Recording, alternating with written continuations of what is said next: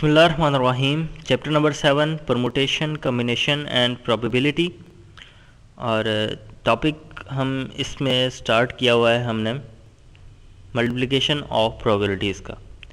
ठीक है multiplication of probabilities का ये पार्ट नंबर टू है।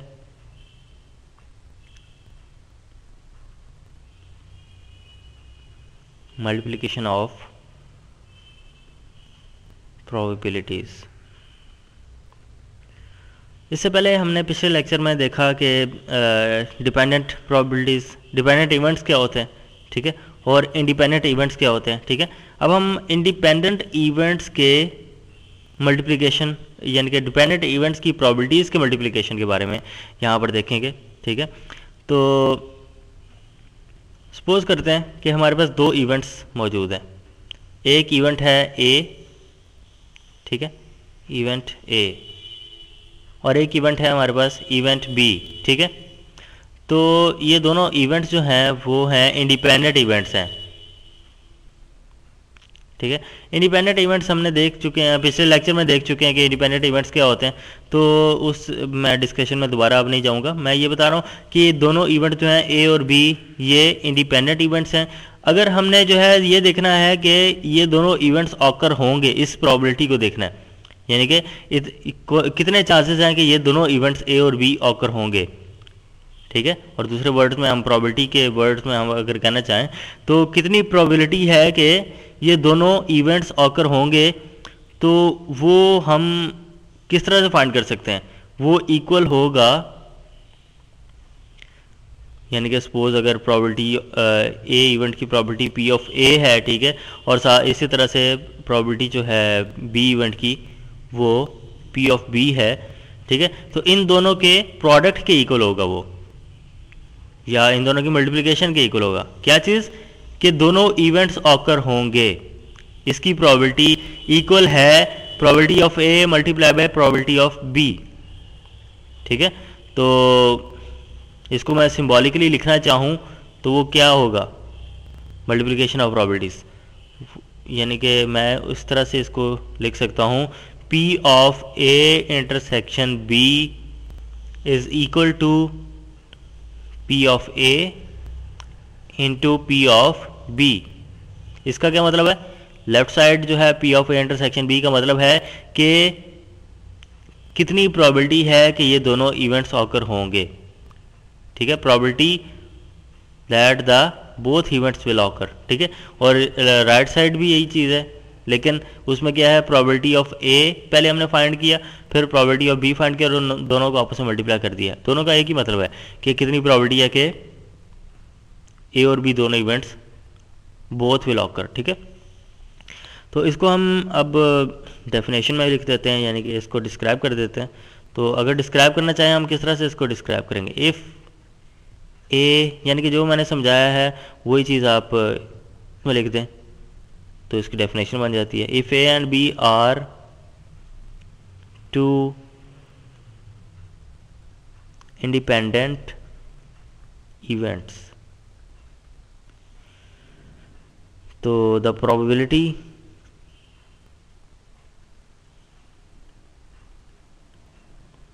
that both of them occur वो किसके इक्वल होगी is equal to the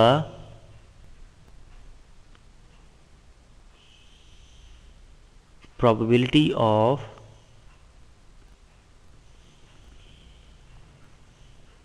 occurrence of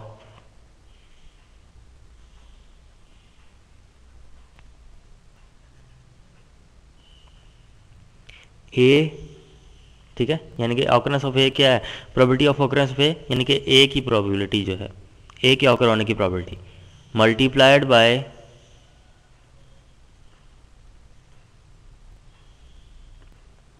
the probability of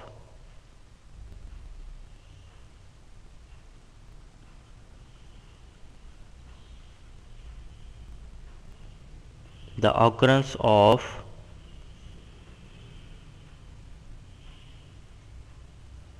B ठीक है? और सिम्बॉलिकली हम इसको इस तरह से डिनोट कर सकते हैं। P of A intersection B is equal to P of A into P of B ये तो हमने देख लिया कि जो मल्टीप्लिकेशन ऑफ़ प्रॉपर्टीज़ जो है वो इस तरह से होती है, उसका फार्मूला ये है। लेकिन ये कैसे है, वो देखना बाकी है अभी, ठीक है? तो वो हम किस तरह से चलें, हम इसको कह लेते हैं कि एक टाइप का प्रूफ है इसका।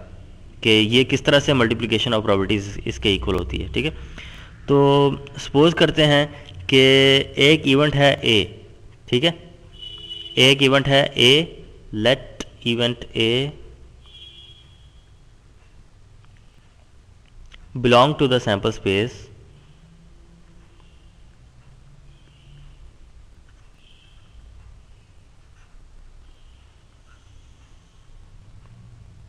S one ठीक है? यानी कि हमने जिसमें से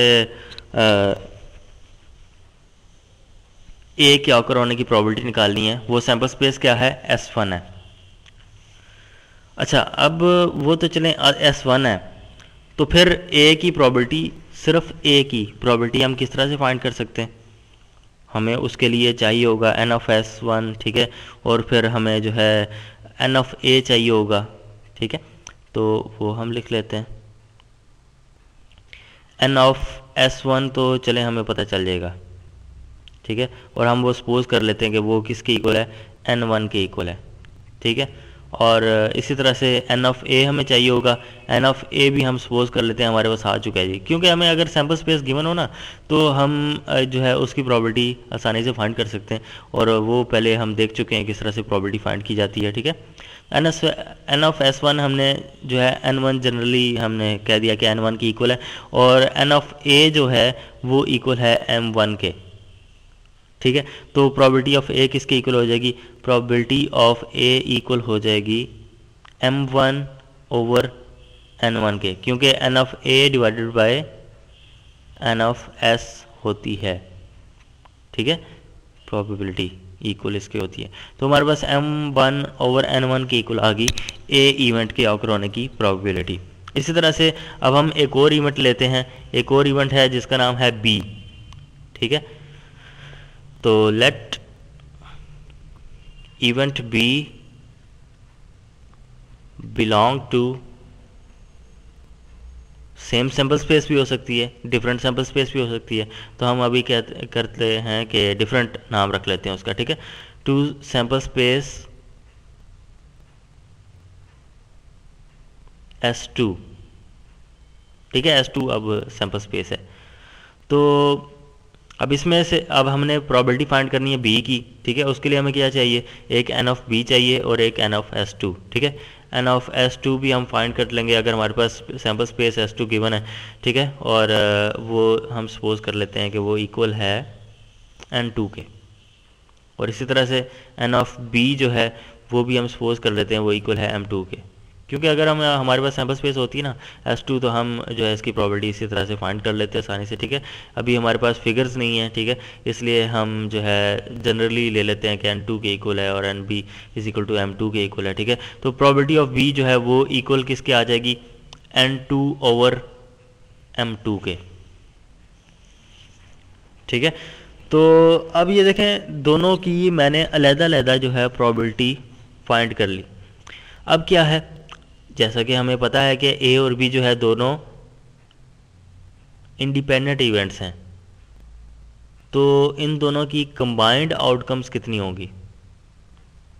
ठीक है? कंबाइंड यानी कि एक, उसकी ए की आउटकम कितनी है? ए की आउटकम पॉसिबल की मैं बात नहीं कर रहा। पॉसिबल आउटकम्स की बात मैं नहीं कर रहा। मैं बी इवेंट के ऑकर होने की हूँ वो कितनी होगी? होगी एन वन ए इवेंट की मैं अगर बात करूँ तो वो एन वन होगी और बी इवेंट की मैं बात करूँ तो वो एन टू होगी। ठीक है? आउटकम्स आउटकम्स ये होते हैं ना। यानी कि बी इवेंट के ऑकर होने की? आउटकम्स कितनी हैं? ये हैं। ठीक है? ए इवेंट की। ठीक है? और इसी तरह से बी इवेंट के ऑकर होने की? आउटकम्स कितनी हैं? जो आउटकम्स हमारे पास आएँगी, वो है एन टू ठीक है? तो अगर हम कंबाइंड की बात करें कि दोनों इवेंट्स ऑकर हो, ठीक है? तो हमारे पास टोटल आउटकम्स कितनी आती हैं? और उसको हम लिखेंगे total number of combined outcomes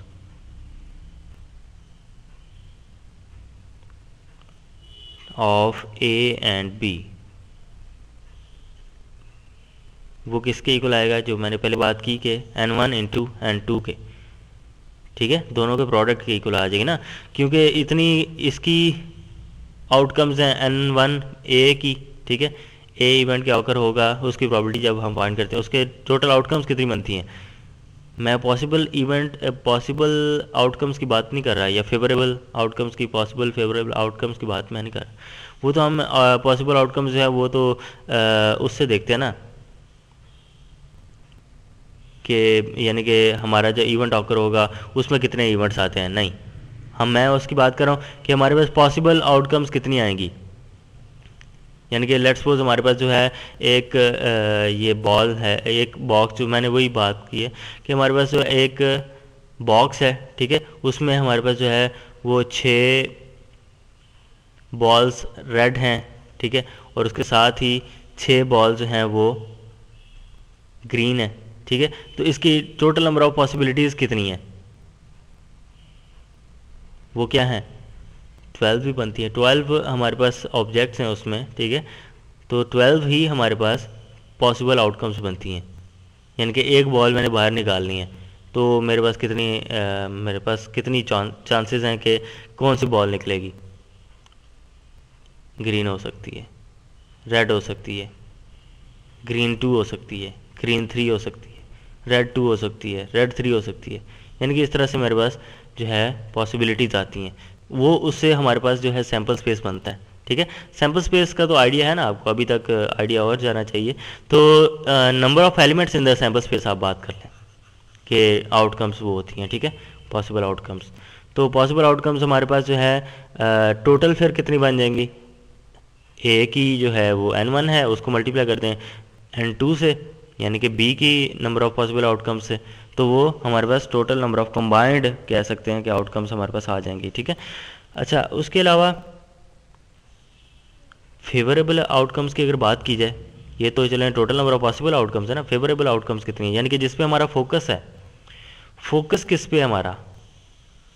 हमारा फोकस इस पे है। अगर मैं ए इवेंट की बात करता हूँ तो इतने इवेंट्स पे मेरा फोकस है, ठीक है? और इसी तरह से बी की मैं अगर बात करता हूँ बी इवेंट की, उसमें हमारा फोकस किस पे है? इस पे हमारा फोकस है। इस इन इवेंट्स पे नंबर ऑफ़ इवेंट्स पे। ठीक है? तो अब हम, मैं लिख रहा हूँ कि total number of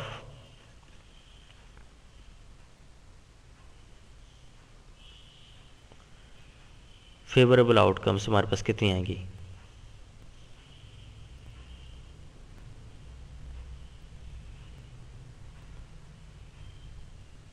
वो आएँगी।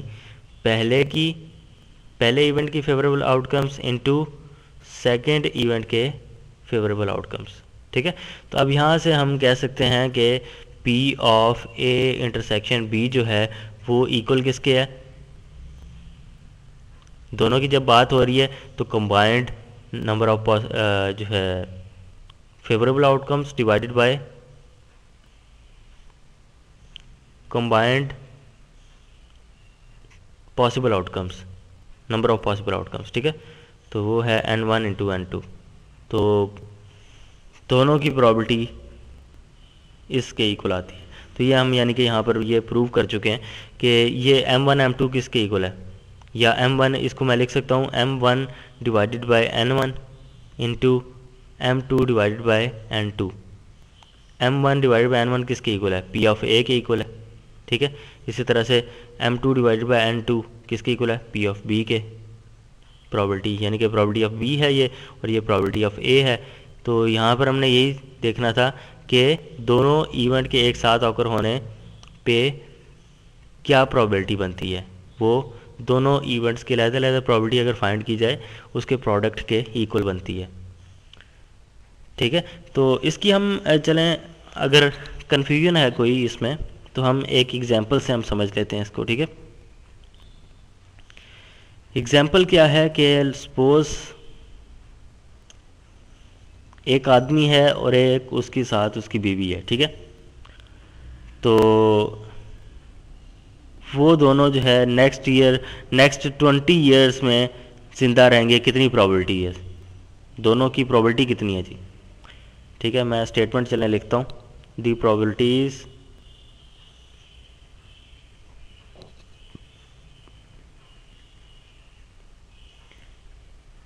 that a man and his wife will be alive. यानी कि वो ज़िंदा रहेंगे in the next twenty years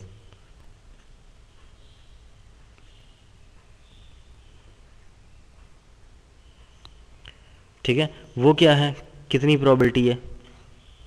Are zero point eight and zero point seven five respectively ठीक है? मतलब कि ज़ीरो पॉइंट एट जो है वो मैन की है और ज़ीरो पॉइंट एट जो है वो वो मैन यानी उसकी वाइफ की है। ठीक है? इसको मैं, इससे मैं कह देता हूँ और इसको मैं इससे अंडरलाइन कर देता हूँ। ठीक है? मैन की प्रॉबिलिटी क्या है? Zero point eight zero point eight probability है कि वो नेक्स्ट ट्वेंटी ईयर्स ज़िंदा रहेगा, ठीक है? और उसकी वाइफ की कितनी प्रॉबिलिटी है कि वो नेक्स्ट ट्वेंटी ईयर्स में ज़िंदा रहेगा? ज़िंदा रहेगी, वो है ज़ीरो पॉइंट सेवन फाइव ठीक है? तो हमने फाइंड क्या करना है? फाइंड करना है find the probability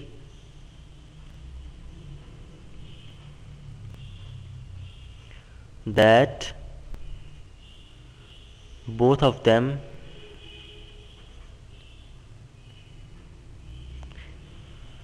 will be alive in next 20 years. इसमें तो हमने बात की थी ना कि अलहदा अलहदा बात की थी कि आदमी की कितनी प्रॉबिलिटी है कि वो नेक्स्ट ट्वेंटी ईयर्स वो ज़िंदा रहेगा। इतनी प्रॉबिलिटी है जी। और वाइफ की कितनी प्रॉबिलिटी है कि वो नेक्स्ट ट्वेंटी ईयर ज़िंदा रहेगी, वो ज़ीरो पॉइंट सेवन फाइव है। ठीक है, अब हम बात कर रहे हैं कि हमने फाइंड ये करना है कि दोनों ज़िंदा रहेंगे, कितनी प्रॉबिलिटी है। ठीक है, इस केस में क्या था, अलहदा वहाँ हम बात कर रहे थे।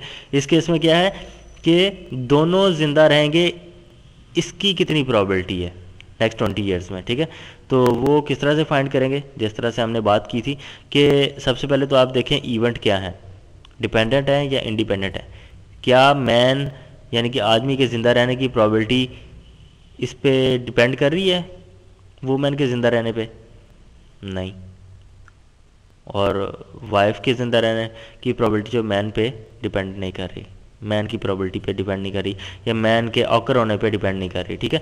तो यानी कि दोनों जो हैं इंडिपेंडेंट इवेंट्स हैं, ठीक है? तो उनकी प्रॉबिलिटीज़ हमने अब फाइंड करनी है कि दोनों एक साथ में फाइंड करनी है ठीक है? बोथ विल ऑकर जो मैंने बात की थी ना पिछले लेक्चर में कि find the property that both events will occur ठीक है? तो इसमें भी अब वही चीज़ है कि दोनों आ, का एक साथ हम देख रहे हैं। तो multiplication of independent events multiplication of the probabilities of independent events ठीक है? तो वो किस तरह से हमें पता है कि प्रॉबिलिटी ऑफ़ ए जो है वो क्या है? ज़ीरो पॉइंट एट है। अगर हम मैन को कह दें कि वो यानी कि ए है ए इवेंट है, ठीक है?